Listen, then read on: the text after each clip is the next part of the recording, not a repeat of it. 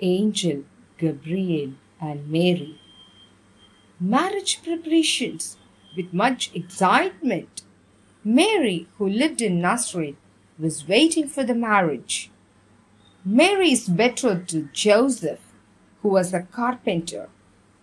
Hope you can sense the feelings of Mary, who was with excitement, much eagerness to enter into a new life of marriage with Joseph. Did that happen? No, there was a twist in her life.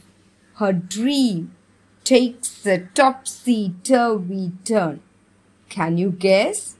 Yeah, you know, to her surprise, she heard a voice, not an ordinary voice, an angelic voice. She was blooming with number of questions. Who, why, what? The angel who appeared in front of her had a special something to deliver to Mary. Imagine how do we feel if an angel come in front of us? What do we do?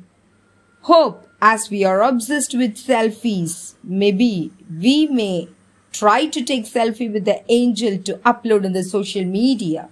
Is it not? Yes. You know, Angel Gabriel was there a moment. We shall wait for the next video to see what happened. Prayer, dear God, help us to lead a prayerful life. Amen.